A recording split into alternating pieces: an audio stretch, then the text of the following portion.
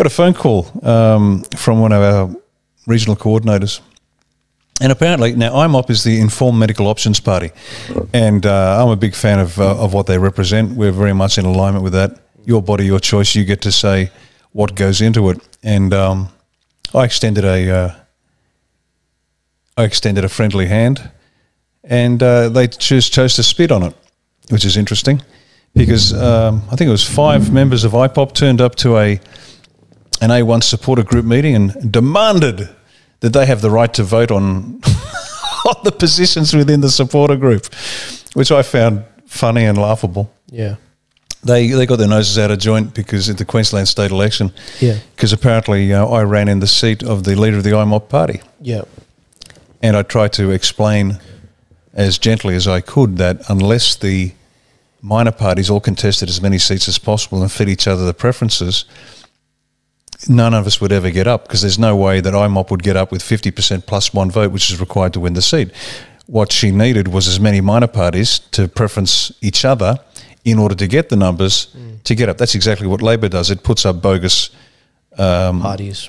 parties and uh, and ca- independent candidates to direct preferences to them. It's it's a game that they play. Like nine of them. But IMOP, IMOP and their and their erudite leader decided that this was an insult, and she actually ran me up and insulted me and told me I had to ask her permission to run in her seat, which I thought was an interesting, if naive view of a, a political leader. But anyway, so they've decided that uh, they want to run. Um, they want, want want to run A1 now. We did some checking up, and it appears I can't verify this just yet, but it appears that IMOP's been penetrated by a major party, and they're doing to IMOP exactly what they did to One Nation and what they did to Fraser Anning and what they did to everybody else. And so what they're doing is they're using other parties, they're using cutaways, shills, to uh, help attack A1 to bring us down. Unfortunately, Yeah. You know, there's a difference between honest and naive. I'm honest but not naive, so we know exactly what's going on. So IMOP. I was happy to support you. You know, your your philosophy's great. Unfortunately, you stink because you're too dumb. You're just too dumb. And I'm not upsetting the IMOP supporters. You people are good people, but your party's just too dumb to worth surviving. So I don't care anymore about IMOP. It's fine. We don't need them. Moving right along. It's very frustra- It's very frustrating.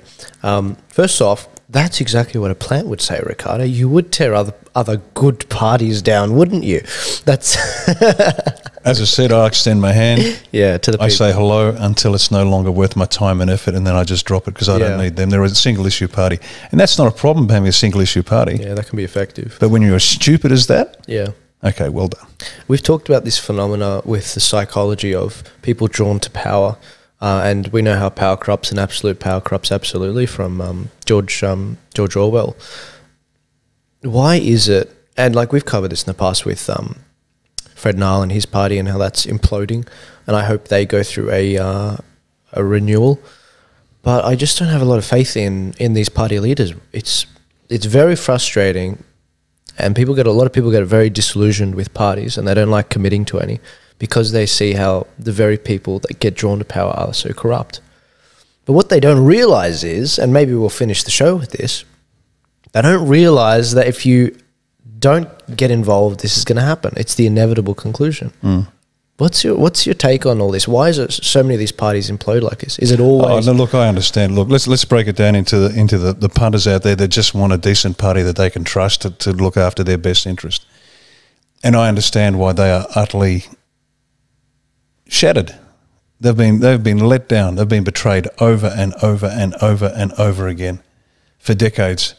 And as we were saying before the show, they're now voting for a jersey. Hmm. That, see, in the old days, you'd play for a team because you know you knew Ray Price for Parramatta, and Ray was a guy's a hard man, and Peter Sterling. These were these were Parramatta players through and through, and so there's a connection with the player. Now, for those younger people in the audience, you won't know Ray Price or Peter Sterling, but watching those two turn up. The sort of guys that would have a, a beer and a cigarette at halftime and go out and crack skulls again. League in the old days was brutal.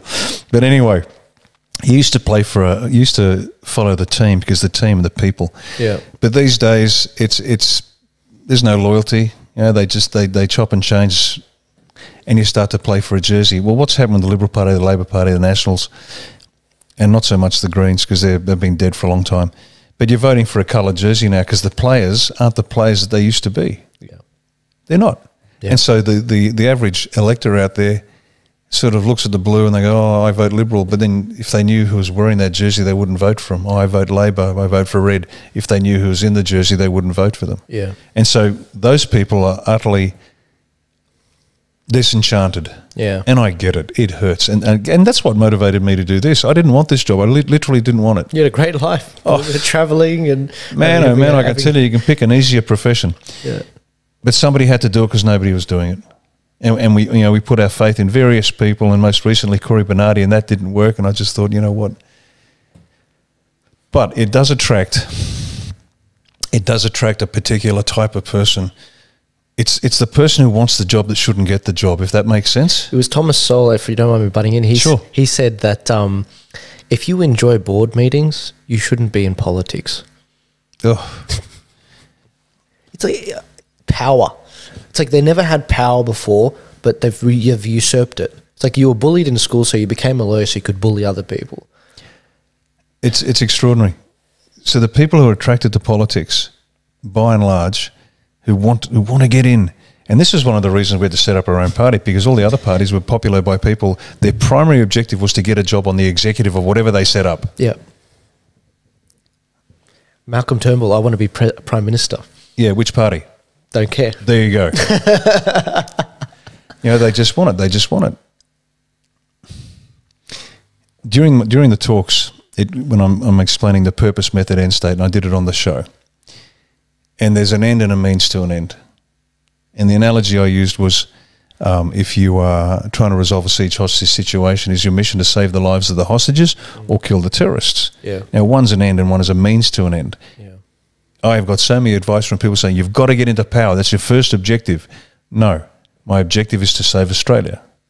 Getting into power is a means to an end, and that's what they don't get. I get so many people telling me how to get into power. I know how to get into power. That's easy. Take the money, bend over, and satisfy somebody else's needs. No, no, no, no. That's why.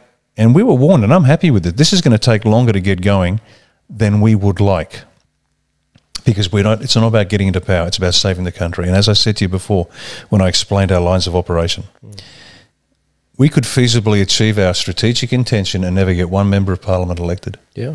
That's how it's. You know, politics is the most visible but least critical line of operation to our success, and that's the test. We don't care. We'll get in because it accelerates the process, and you know, you get into power, you can do things faster Yeah. but it's the least, it's the most visible but least critical. And so, unfortunately, politics attracts the people that want power. A one is about attracting people who want to save the country. Yeah. And and when they ring up and say, "Oh, look," you know, they'll send me their CV or they'll run down who they are and what they've done. I say, "You're perfect as a candidate," and they'll say, "But I know nothing about politics." And I say, "Even better." You're not corrupted the by it. last things we need are more politicians and more lawyers. No, go away, Yeah, it's- please. It's, the definition of insanity. If you always do what you've always done, you'll always get what you've always got, which is this. It's crap. It doesn't work for the progressives. It doesn't work for the conservatives. We, we're not going to move forward, you know? there's one we've got one job to do that's save the country but that's everybody's job and that's when i was talking about you've got to transition from being the guerrilla army to the conventional army. You've got to transition from being the digital warrior to the physical warrior. You've got to take an interest in your school curriculum. You've got to take an interest in the planning for your local council. You've got to take an interest in fill in the blank. You've got to do it folks because it'll be taken from you like they're taking Australia Day. You can't have Australia Day, but you can have Invasion Day dawn service. Speak up. This, say this is outrageous. That's the last line. You're not getting back in if you do this. Speak, you know, speak uh, your mind. I'm in the process of, of writing the Australia Day address that I'm going to record shortly. And um, I was bouncing it back backward and forwards, a couple of different approaches, and that, that newspaper article about the Australia Day being cancelled, but sorry day or whatever it is, dawn service. It, I'd made my mind up what I was going to do, and um, I won't talk about the theme now, but it's confirmed exactly what the what the theme of this year's Australia Day address must be, because this is going to be the last one, unless we are very, very, very careful unless Australians start to realise that they have to stand up and start knocking on their MP's door, start getting involved in school curriculum, start getting involved in planning, start getting involved in every aspect of political life to the level at which you are comfortable. You've got to physically get involved now. You've got to turn up to meetings and put a finger in somebody's face and say, like I've done over and over and over again, mm. and say, the curriculum is wrong. Why are you teaching kids to masturbate and not teaching them their times tables? Yeah. And if that means the local bishop, then do it. If you're a Catholic, just for just for information Go purposes, for it. they work for you. Sovereignty lies with every individual Australian. And I love saying it because it really gets the audience's attention. It doesn't matter if you're a millionaire from Point Piper or a prostitute from Emerald, you are equal. That's it. You are absolutely equal. Now, you might not be as smart, you may not be as rich, it doesn't make any difference. Either every one of us is, is of equal worth mm. or not. Yeah. It's as simple as that. Yeah. And if we're not, well,